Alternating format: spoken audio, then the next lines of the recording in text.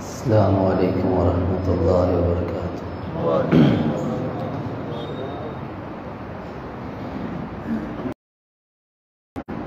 إن الحمد لله نحمده ونستعينه ونستغفره ونؤمن به ونتوكل عليه ونعوذ بالله من شرور أنفسنا ومن سيئات أعمالنا من يهده الله فلا مزل له ومن يزلل فلا هادي له ونشهد أن لا إله إلا الله وحده لا شريك له ونشهد أن محمدا عبده ورسوله أما بعد. اللهم صل على محمد وعلى آل محمد كما صليت على إبراهيم وعلى آل إبراهيم إنك حميد مجيد. اللهم بارك على محمد وعلى آل محمد كما باركت على إبراهيم وعلى آل إبراهيم إنك حميد مجيد. أما بعد فأعوذ بالله من الشيطان الرجيم. بسم الله الرحمن الرحيم. شهر رمضان الذي أنزل فيه القرآن. هدى للناس. وبينات من الهدى والفرقان. صدق الله العظيم. انتہائی قابل قدر، لائق ست کریم سامعین مکرم. اللہ سبحانہ و تعالی کا ہم جتنا بھی شکر ادا کریں وہ کم ہے۔ کیونکہ اس رب تعالی نے ہمیں وہ گھڑیاں،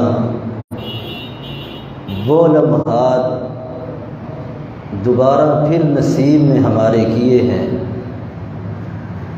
جو گھڑیاں، جو مہینہ، سارے مہینوں کا سردار ہے۔ یہ مہینہ انسان کی بخشش کا مہینہ بھی ہے اور سب سے بڑا یہ انسان کی اصلاح کا مہینہ بھی ہے۔ کیونکہ اس مہینے میں اصلاح کرنا انسان پر بڑا ہی آسان ہو جاتا ہے۔ ہر طرف نیکی کرنے والے نظر آتے ہیں۔ ہر گھر میں مسلمان ہے، مومن ہے، اس کے گھر میں سحری کا انتظام ہوتا ہے، افطاری کا انتظام ہوتا ہے اور اسی کے ساتھ ساتھ پھر انسان اس مہینے کی عزت کرتے ہوئے، اپنی اصلاح کرتے ہوئے اس کو شرم بھی آتی ہے کہ اگر میں روزہ رکھ کر بھی نماز نہ پڑھوں تو کیسے ہو میرا یہ روزہ قبول ہوگا؟ یہ مہینہ انسان کو نمازی بھی بنا دیتا ہے، متقی بھی بنا دیتا ہے۔ آپ دیکھتے ہوں گے، اپنے ارد گرد آپ کے ساتھ چلنے والے، یوں ہی یہ مہینہ آتا ہے۔ سر پر ٹوپی رکھ لیتے ہیں۔ ہاتھ میں تسبیح ہے۔ وہ لوگ جو مسجد میں نہیں جاتے، اللہ تعالی ان کو ہدایت دیتا ہے وہ رمضان المبارک میں اصلاح کرنے کے لیے مسجد میں آتے ہیں۔ یہ مہینہ اگر ہم اس کی سعادتوں کو سمجھیں، جو اللہ سبحانہ و تعالی نے اس مہینے میں انسان کو اصلاح کا موقع دیا ہے اپنی آپ کی اصلاح۔ کیوں؟ اس میں آسان اصلاح کیوں ہو جاتی ہے؟ رسول اللہ صلی اللہ علیہ وسلم نے فرمایا ادستحل رمضان، غلقت ابواب النار۔ جب ابھی رمضان المبارک کا چاند ہی نظر آتا ہے، رب تعالی اسی وقت جہنم کے دروازوں کو بند کر دیتے۔ ہیں جہنم کے دروازے بند ہو جاتے ہیں۔ اور پھر آپ صلی اللہ علیہ وسلم نے فرمایا، وفتحت ابواب الجنہ اللہ سبحانہ و تعالی اپنی جنت کے دروازوں کو کھول دیتے ہیں۔ اللہ تعالیٰ کی جنت کے دروازے کھل جاتے ہیں۔ وصفدت الشیاطین اور اس ماہ مبارک میں اللہ سبحانہ و تعالی شیطانوں کو جکڑ دیتے ہیں۔ کیونکہ شیطان ہی ہے جو انسان کو نماز سے روکتا ہے۔ شیطان ہی ہے جو اس کو نیک کام نہیں کرنے دیتا۔ میرے بھائی، آپ لوگوں کے ذہن میں یہ بھی سوال آتا ہوگا، اگر رمضان المبارک میں شیطان جھکڑ دیے جاتے ہیں، پھر گناہ کس وجہ سے ہوتے ہیں؟ پھر لوگ کیوں گناہ کرتے ہیں رمضان المبارک میں؟ اللہ سبحانہ و تعالی نے سورت الناس کے اندر اس چیز کی وضاحت کر دی ہے۔ الذي يوسوس في صدور الناس من الجنت والناس۔ جس طرح شیطان یہ انسان کے سینے کے اوپر وسوسہ ڈالتا ہے برائی کرنے کے لیے۔ انسان کو شیطان نظر تو نہیں آتا، وہ اس کے سینے پر حملہ کرتا ہے، اس کے سینے کے اندر خواہشات کو پیدا کرتا ہے۔ گناہ کر۔ اسی طرح لوگ یہ انسان بھی شیطانی شکل میں ہوتے ہیں، جو ہم کو نظر آتے ہیں۔ جو نماز سے دور کرتے ہیں، جو الٹے کاموں پر لگاتے ہیں، جو انسان کو گناہوں کی طرف لے کر جاتے ہیں، ان میں شیطانوں کا یہ وصف پایا جاتا ہے۔ اس لیے اگر ماہ رمضان میں انسان اپنی اصلاح نہ کر سکے، پھر اس کو سمجھنا چاہیے کہ میں کون سا انسان ہوں، میں کن انسانوں میں شامل ہوں۔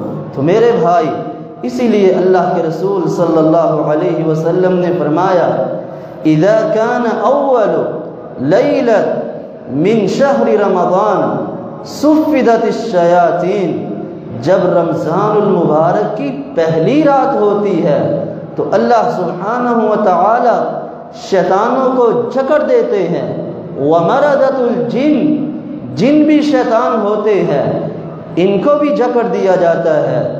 وغلقت ابواب النار اللہ سبحانہ و تعالی جہنم کے دروازوں کو بند کر دیتے ہیں۔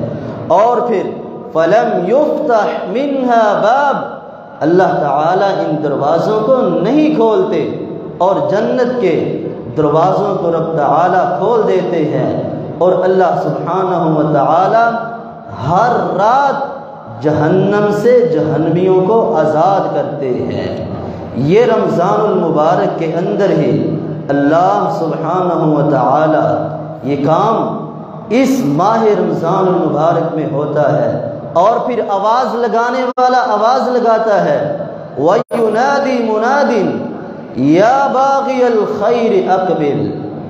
اے خیر کو چاہنے والے، اے نیکی کرنے والے، آگے بڑھ آگے بڑھ۔ یہ وقت آ گیا ہے۔ اور پھر آواز لگانے والا یہ بھی آواز لگاتا ہے۔ وَيَا بَاغِيَ الشَّرِّ أَقْسِرْ اے گناہ کے کام کرنے والے، اب تو رک جا، اب تو رک جا۔ ماہ مبارک آ چکا ہے۔ اور اسی طرح اللہ سبحانہ و تعالی ہر رات جہنم سے لوگوں کو آزاد کرتے ہیں۔ تو میرے بھائی، اس ماہ مبارک میں اپنی اصلاح کرنے کے لیے انسان کو سب سے پہلے اپنی نیت کو خالص کرنا چاہیے۔ اللہ، اگر میں روزہ رکھتا ہوں، تیری رضا کے لیے رکھتا ہوں۔ کیونکہ یہ روزہ ایسا کام ہے، یہ ایسی نیکی ہے جس کو رب تعالی ہی جانتے ہیں۔ یہ بندے اور رب کے درمیان ہوتا ہے، کیونکہ انسان انسانوں سے چھپ کر کھا بھی سکتا ہے، پی بھی سکتا ہے، لیکن وہ اللہ تعالی سے ڈرتا ہے۔ اور اللہ تعالی سے ڈرتے ہوئے صبح سے لے کر شام تک خالی پیٹ رہتا ہے۔ اور وہ اللہ کی رضا کے لیے اگر یہ کام کرتا ہے تو اس روزے کا اجر بھی رب تعالی خود ہی عطا فرمائیں گے۔ اور اپنی نیت کو خالص کیجیے، کیونکہ انما الاعمال بالنیات، انسان جو بھی نیکی کا کام کرتا ہے، جو بھی کام کرتا ہے، اس کا دار و مدار نیت پر ہوتا ہے۔ آیا کہ وہ لوگوں کو دکھانے کے لیے کر رہا ہے، آیا کہ وہ رب کو راضی کرنے کے لیے کر رہا ہے۔ آیا کہ وہ لوگوں میں اپنی آپ منانے کے لیے کر رہا ہے، آیا کہ وہ آجزی انکساری کے لیے کر رہا ہے، تو اللہ تعالی سے دعا کرنی چاہیے، یا الہ العالمین، ہم سب کو خالصتاً اپنے لیے روزہ رکھنے کی توفیق عطا فرما۔ اور اسی طرح میرے بھائی، انسان اپنی اصلاح کرے۔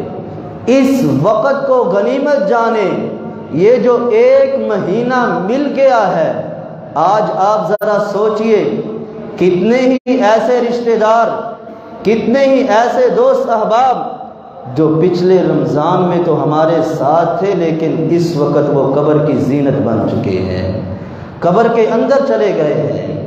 تو میرے بھائی، یہ رب کا کتنا بڑا انعام ہے۔ کہ اللہ تعالیٰ نے یہ سعادت گھڑیاں ہم کو پھر عطا فرمائی۔ اسی لیے اللہ کے رسول صلی اللہ علیہ وسلم نے فرمایا، نعمتان مغبون فیہما کثیر من الناس الصحت والفراغ لوگوں دو نعمتیں ایسی ہیں جن کی لوگ قدر نہیں کرتے۔ ان میں سے پہلی نعمت، الصحہ لوگوں صحت بہت بڑی نعمت ہے۔ بہت بڑی نعمت ہے۔ آج ذرا اپنا پانچ منٹ کا وقت کسی بیمار کو دے کر دیکھیے۔ وہ اپنی آہو بقا آپ کو سنائے گا۔ پھر آپ کو قدر ہوگی کہ یہ صحت کتنی بڑی نعمت ہے کہ اللہ تعالیٰ نے میری ٹانگوں کو سلامت رکھا ہے، میرے جسم کو سلامت رکھا ہے۔ میں اپنے گھر سے چل کر مسجد میں آیا ہوں۔ اللہ تعالیٰ نے میری کمر کو سلامت رکھا ہے۔ میں اللہ تعالیٰ کے سامنے جھکتا بھی ہوں۔ اللہ تعالیٰ نے میری زبان کو سلامت رکھا ہے۔ میں اللہ تعالیٰ سے اس زبان سے ذکر کرتا ہوں۔ اللہ تعالیٰ نے مجھے ہر قسم کی صحت عطا فرمائی ہوئی ہے۔ اس لیے اس نعمت کو غنیمت جانتے ہوئے ان گھڑیوں کو بابرکت بنائیے۔ اور دوسری آپ صلی اللہ علیہ وسلم نے فرمایا، والفراغ اگر کسی کو فارغ وقت مل جائے۔ آج کل دیکھیے، ہر شخص آپ کو یہ کہتا ہوا تقریباً نظر آئے گا، میرے پاس ٹائم نہیں ہے، کسی کو نماز کی دعوت دے۔ جی ٹائم نہیں ہوتا۔ کسی کو نیکی کی دعوت دے جی ٹائم نہیں ہوتا۔ میرے بھائی، جس کو یہ فارغ وقت مل جائے، یہ بھی اللہ رب العزت کی طرف سے بہت بڑی نعمت ہے۔ اور رسول اللہ صلی اللہ علیہ وسلم نے فرمایا کہ اللہ سبحانہ و تعالی فرماتے ہیں، حدیث قدسی ہے یبن آدم، تفرغ لعبادتی امل صدرک غنن و اسد فقرک اللہ سبحانہ و تعالی فرماتے ہیں، اے ابن آدم، اپنے آپ کو میری عبادت کے لیے فارغ کر لے اگر تو اپنے آپ کو میری عبادت کے لیے فارغ کر دے گا، میں تیری فقیری کو توڑ کے رکھ دوں گا۔ جو انسان کے دل میں یہ ڈر آتا ہے، کماؤں گا کہاں سے؟ کھاؤں گا کہاں سے؟ آئے گا کدھر سے؟ لگاؤں گا کہاں پر؟ انسان طرح طرح کی سوچے سوچتا ہے۔ اللہ سبحانہ و تعالی فرماتے ہیں، ابن آدم، تو میری عبادت کے لیے اپنے آپ کو فارغ کر لے، میں تیری ہر ضرورت کو پورا کروں گا۔ میں تیری ہر نیک خواہشات کو پورا کروں گا۔ میں تیرے دل سے فقیری کا ڈر پھینک دوں گا، نکال دوں گا اس کو۔ اللہ اکبر، یہ اللہ سبحانہ و تعالی کتنی بڑی آفر ہم کو دے رہے ہیں۔ اور اسی طرح اللہ سبحانہ و تعالی فرماتے ہیں، وَإِلَّا تَفْعَلْ مَلَأْتُ يَدَيْكَ شُغْلًا وَلَمْ أَسُدَّ فَقْرَكَ۔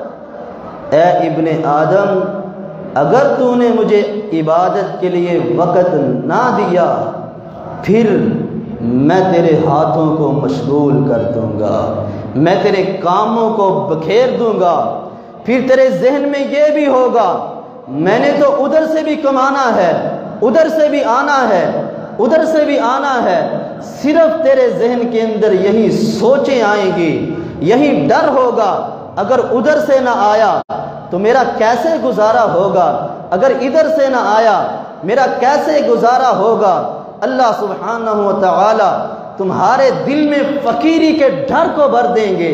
تم ہر وقت یہی سوچو گے کہ ابھی ادھر سے نہ آیا، شاید میں آج کنگال ہو جاؤں، شاید آج میں فقیر بن جاؤں۔ یہ ڈر اس وقت انسان کے ذہن میں آتا ہے جب وہ اپنا ٹائم اللہ سبحانہ و تعالی کی عبادت میں نہیں لگاتا۔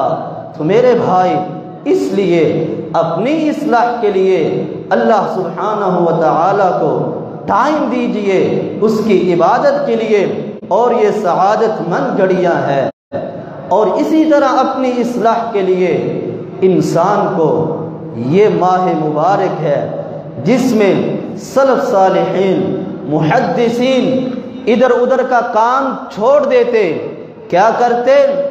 سارا دن قرآن مجید کی تلاوت کرتے، اپنی دوسری کتابوں کو بند کر دیتے، سارے کا سارا ٹائم قرآن مجید پڑھتے۔ اور کیا فائدہ ہوگا؟ رسول اللہ صلی اللہ علیہ وسلم نے فرمایا، اقرأ القرآن فَإِنَّهُ يَأْتِي يَوْمَ الْقِيَامَةِ شَفِيعًا لِأَصْحَابِ۔ لوگوں کل قیامت کا دن ہوگا، جب رب تعالی کا دربار سجا ہوگا۔ اور اس وقت یہ قرآن مجید اپنے پڑھنے والوں کے لیے اللہ کی عدالت میں اس کے لیے سفارشی بن کے آئے گا۔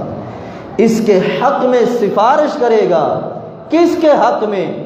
جو قرآن مجید کو پڑھتا ہے، سمجھتا ہے، جو قرآن مجید پر غور و فکر کرتا ہے۔ اس لیے اس ماہ مبارک کے اندر اپنے ٹائم کو زیادہ سے زیادہ قرآن مجید کی تلاوت کیجیے اور یہی وہ سعادت مند گھڑیاں ہیں جو کل قیامت کے دن میرے اور آپ کے لیے ذریعہ نجات بن جائیں گی۔ اور اسی طرح میرے بھائی، یہ سعادت مند گھڑیاں، یہ گھڑیاں بڑی ہی بابرکت گھڑیاں ہیں۔ اس کے اندر انسان زیادہ سے زیادہ دعا کرے۔ کیونکہ دعا اللہ سبحانہ و تعالی اس کو بڑا ہی پسند کرتے ہیں۔ اور آپ صلی اللہ علیہ وسلم نے فرمایا، الدعاء هو العبادہ۔ لوگو، دعا عبادت ہے۔ اس کو کیا کرو۔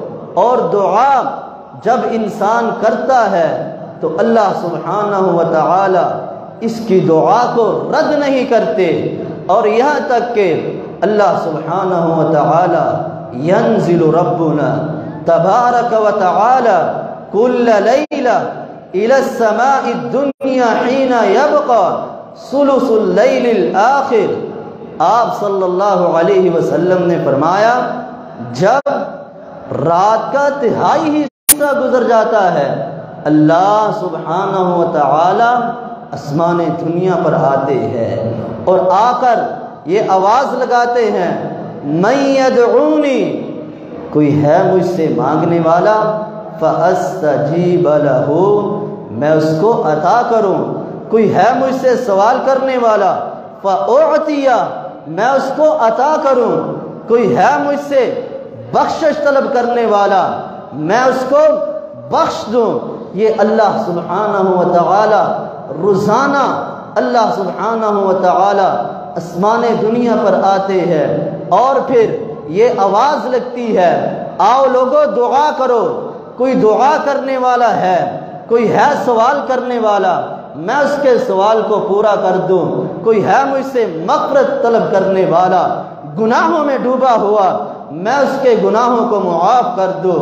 اور میرے بھائی، اس ٹائم کو غنیمت جانتے ہوئے اس کو غنیمت جانو رسول اللہ صلی اللہ علیہ وسلم نے فرمایا، الدعاء لا يرد بین الاذان والاقامہ۔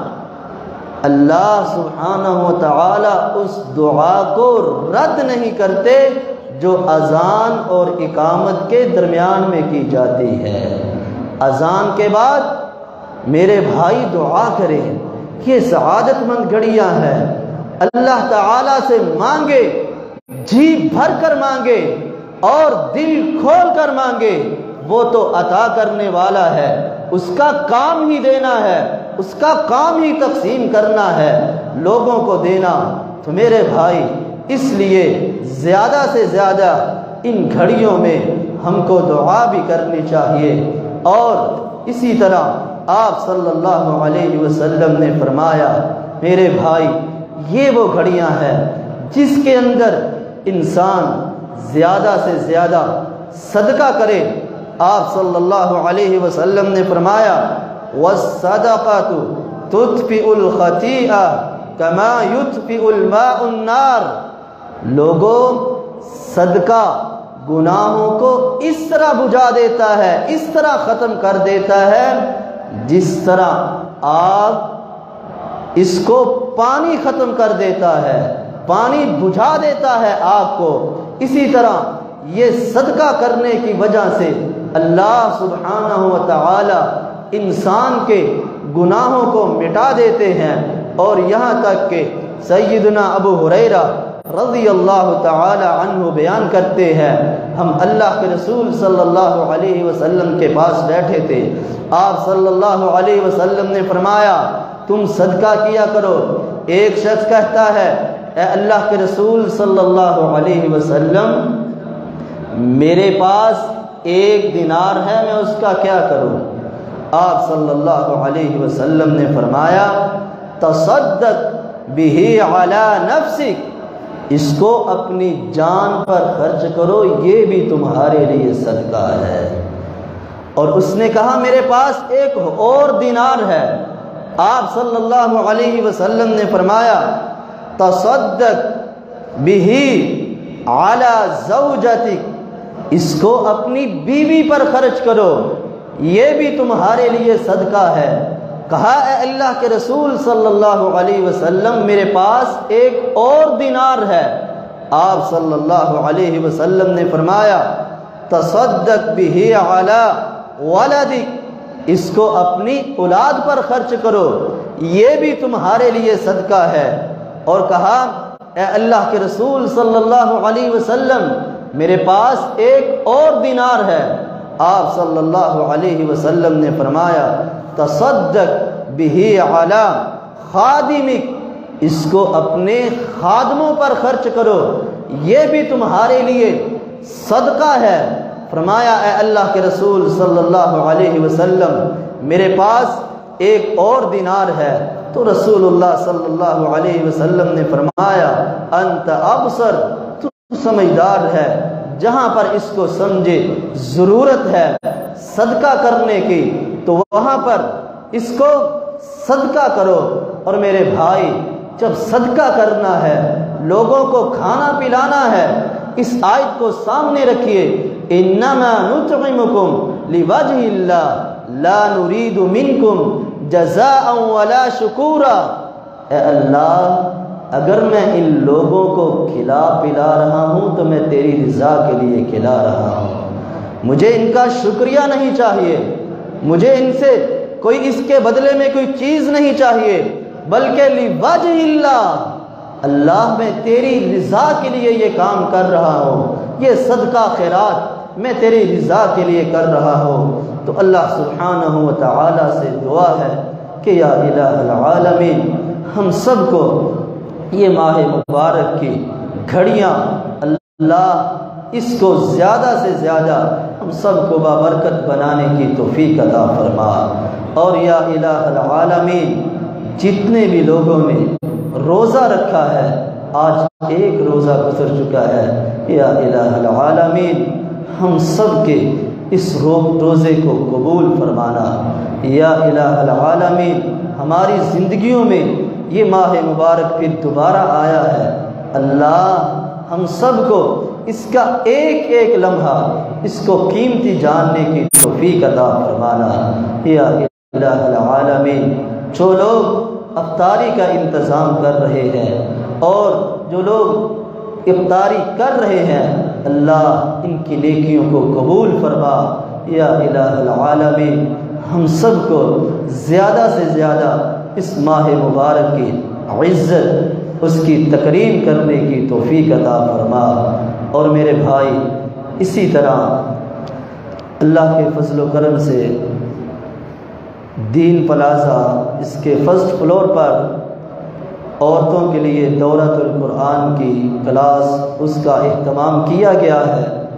روزانہ صبح دس بجے سے لے کر شام رات ایک بجے تک، دس بجے سے لے کر ایک بجے تک یہ عورتوں کی کلاس ہے، جس میں دورت القرآن ہے، تجوید ہے۔ اور اسی طرح قرآن مجید کی صورتیں اور اس کو سمجھنا، اسی طرح تجوید کو سمجھنا، یہ ساری کلاسوں کا اہتمام کیا گیا ہے۔ تو اللہ کے فضل و کرم سے جو وہاں پر معلمات تعلیم دے رہی ہیں، وہ ادارت الاصلاح، پھول نگر، استاد محترم قاری صحیب احمد میر محمدی حافظ اللہ تعالی، ان کے مدرسے کی جو ہے، وہ وہاں سے اساتذہ جو وہاں پر پڑھاتی ہے، وہ وہاں پر انشاءاللہ جو ہے وہ تعلیم دے رہی ہے، اس دورے کو ہینڈل کر رہی ہے۔ تو میرے بھائی، یہ بہت بڑا موقع ہے، غنیمت جانیے اس موقع کو۔ اور عورتیں اکثر دس بجے سے لے کر ایک بجے تک فارغی ہوتی ہیں۔ بڑا ہی پیارا ٹائم ہے، جس میں انسان کی نیند بھی پوری ہو جاتی ہے۔ اور اس کے بعد اپنی ماں اور بہنوں کو اس میں ضرور شرکت کی آپ دعوت دیں۔ تو اسی طرح ابھی آپ احباب کے لیے کھانے کا بھی انتظام ہے۔ تو انشاءاللہ تمام احباب کو جاتے ہوئے پیکنگ کی شروع صورت میں ان کو کھانا پیش کیا جائے گا۔ تو احباب سے گزارش ہے کہ کسی قسم کا شور، چکم پیل اس طرح نہ کرنا انشاءاللہ۔ ہر شخص کو کھانا ملے گا، اس کو پیکنگ کی صورت میں تاکہ وہ اپنے بیوی بچوں کے ساتھ جا کر کھا سکے۔ تو اللہ سبحانہ و تعالی ان سب نیکیوں کو قبول فرمائے۔ وما علیہ الا البلاغ